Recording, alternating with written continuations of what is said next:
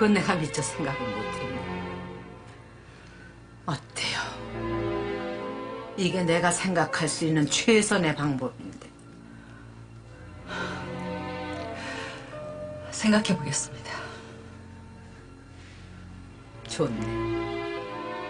그럼 석빈이는 그 부분이 해결된 다음에 그날로 고소 취하해.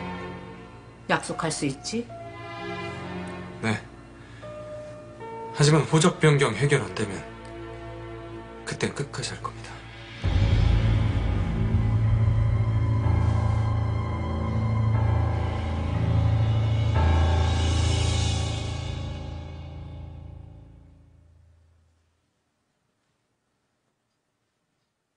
정말이야? 아니 그 자식이 그랬단 말이야? 아니 뭘 믿고 끝까지 간대? 아 내가 그 자식 그냥 아무 말 못하게 묵사발을 만들었어야 되는 건데. 아 미소라 아무튼 절대 안 된다. 어? 야 집에 무슨 권리로 우리 영웅이를 데려다가 고영웅을 만드냐고.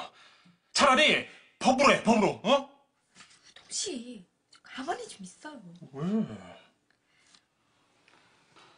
형님, 그냥 성 바꿔주겠다고 하세요. 그쪽이 아빠인 건 사실이잖아요.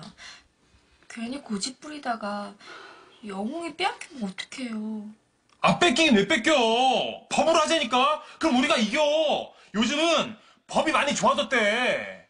아 그게 코에 걸면 코걸이가 귀에 걸면 귀걸이라는 게 법이라 그러잖아요. 근데 엉뚱한 데 걸리면 어떡하려고? 엉뚱한데 뭐 어디? 영웅이가 먼저야. 뭐가 영웅이를 위해서 최선인지 먼저 생각해.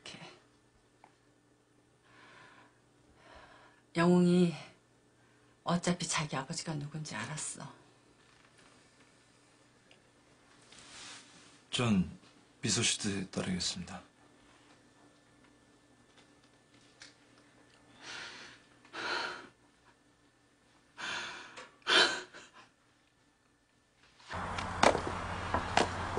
이런 일을 겪게 될 줄은 상상도 못했어요.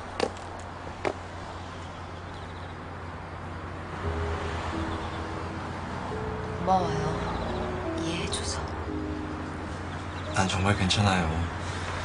미솔 씨랑 영웅이만 괜찮다면 나도 좋아요. 소령 씨한테 미안하고 영웅이한테 미안하고 이럴 수밖에 없는 상황이 정말 화나고 속상하고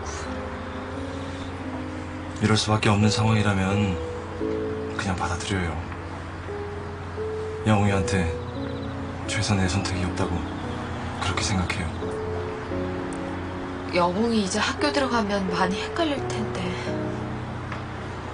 같이 사는 소령 씨하고 성이 다르면 친구들한테 놀림도 받을 거고 그건 그때 가서 생각해요. 머리 맞대고 생각해보면 또 새로운 해결책이 나올 거예요. 왜 자꾸 미리 걱정하고 그래요? 다 괜찮을 거예요.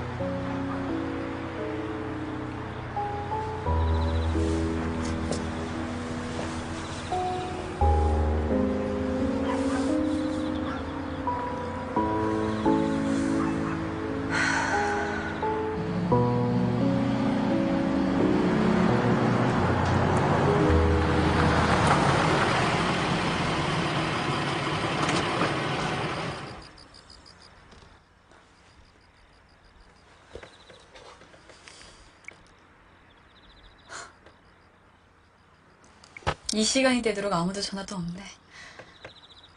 남편도 시어머니도. 그래. 나는 있으나 마나한 존재라는 거지. 조인정. 근데 이 집에 무슨 미련이 있어서.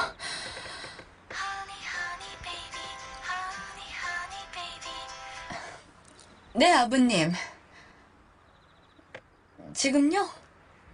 아, 지금 집 앞이에요.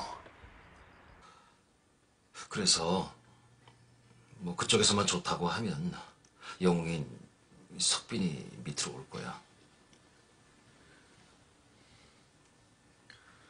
뭐 근데 네 생각이 중요해. 그 색이 네가 싫다면